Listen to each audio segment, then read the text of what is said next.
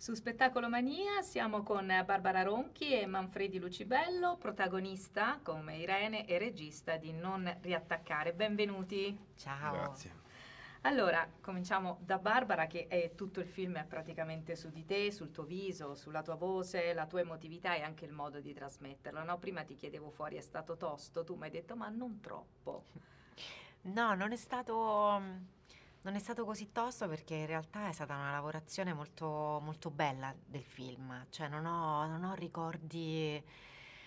Non ho ricordi di duri, non so come dire, le, um, ci siamo molto preparati prima, c'è stata una, una, bellissima preparazione che è stato tutto, per cui poi quando è stata la lavorazione, certo gli orari, ecco, magari quelli erano stati più, più duri, perché ovviamente girando per cinque settimane dalle 6 di pomeriggio alle 6 di mattina era tutto stravolto nella vita, nella vita di ognuno di noi, cioè era come se per cinque settimane c'è stato solo questo film, perché poi di mattina dormivi. Perché serviva il buio la notte, giustamente, per, per, girare.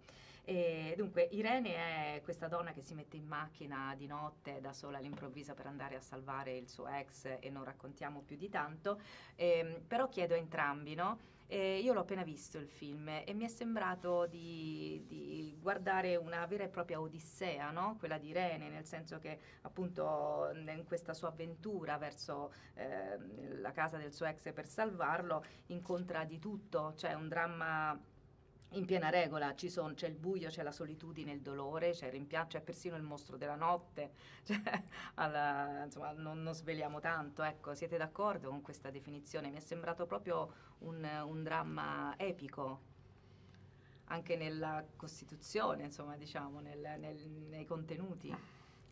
Beh sì, diciamo che mi piace chiamarlo thriller appunto. Thriller, noir, e, ehm, certo. E, e, siamo su quei toni e, e siamo una notte anche di piena pandemia dove eh, non si potrebbe viaggiare, dove le persone ci fanno paura, perché insomma ci ricordiamo che ai tempi se incontravamo qualcuno andavamo dall'altro lato della strada per paura, no? E quindi ecco il mostro forse avviene anche da lì, da quelle notti terribili che abbiamo passato e quindi sì, in questa notte incredibile, perché è una notte incredibile, una persona invece normale cerca di affrontare questa, questa appunto solitudine e questo viaggio che in fondo è anche un viaggio dentro di sé che poi è un dramma nel dramma perché in questo appunto questo clima di lockdown, di buio e di solitudine c'è il dramma appunto de- della corsa di Irene e mh, mm, si diceva di Pietro sentiamo più o meno solo la voce che è quella di Claudio Santamaria anche se poi insomma ci sarà un, una facciata e mh, mm, che cosa hanno in comune Irene e Pietro ancora che li lega così tanto? Hanno subito un, un trauma, un dramma e, ed è il dolore secondo te che li lega e che li rende ancora così? Lui chiama lei e lei corre da lui, eppure si sono lasciati. Io credo che siano i ricordi. Io credo che siano i ricordi, i ricordi belli, quelli, quello che lega, che lega, che lega questi due, perché dei, dei ricordi brutti non ne parlano, non ne vogliono parlare. Poi a un certo punto arriverà il momento in cui, in cui lo affronteranno, però se lui chiama lei è perché, è perché con lei ha vissuto forse i momenti più intensi della sua vita. C'è un prima e un dopo a volte, no?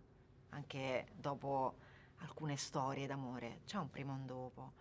Cioè, io, mm, ma sono anche nelle amicizie, nel, nelle storie d'amore, sono delle persone che proprio uh, hanno fermato un momento della tua vita importante. Io ci sono persone che chiamerei, anche se non, non le sento da vent'anni, improvvisamente, mi piacerebbe, perché sono stati testimoni di un momento di me eh, che mi piacerebbe anche ricordare. Quindi probabilmente lui chiama lei anche per questo motivo, perché è stata sua, la sua grande storia d'amore, ma anche perché, perché il ricordo di lei la, lo, lo riportava in un momento felice, che forse sarebbe voluto essere l'ultimo momento da ricordare.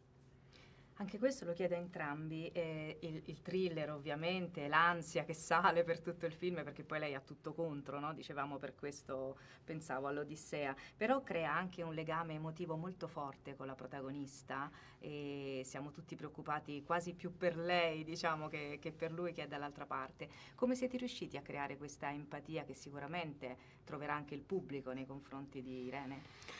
Io credo che, che appunto questo sia una, un viaggio straordinario, fatto però da una persona uguale a noi, che ha i nostri difetti, che non è perfetta, che commette degli errori, che presa anche da questa appunto notte straordinaria e incredibile fa qualcosa di sbagliato, sbaglia e questi siamo un po' tutti noi, non è, non è sicuramente una, un supereroe Irene. E questo fa sì che forse iniziamo a volerli bene fin da subito perché la, la, razione, la, razionalità, la, razionalità, non ti direbbe mai di prendere la macchina e partire, soprattutto vista la situazione, le pasticche, l'uomo accanto, eccetera, eccetera. Però è eh, forse, insomma, è per Però. quello che ci piace Irene.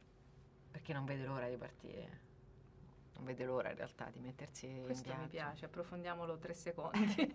no, io penso che lei, che lei veramente non, non, vede l'ora di avere un motivo per... Uh, per rimettersi, per ritornare alla vita, proprio non vede l'ora. Quella telefonata lì a cui non vorrebbe rispondere, a cui... cioè... in realtà perché ha paura che, si, che quella telefonata la rimetta alla vita, perché è comoda in un momento di, in cui si è assopita, no? Si sta lasciando andare, cioè si sta, sta prendendo le pastiglie, sta cercando di non pensare a niente, è ferma però in realtà non vede l'ora, perché poi quello, quello che fa è proprio quello di una persona che, che era in crisi d'astinenza dalla vita. E la ritrova in questo modo molto... Beh sì, tramite lei tra l'altro, fa tutto da sola. Grazie mille, grazie a entrambi, complimenti. Grazie, grazie. grazie.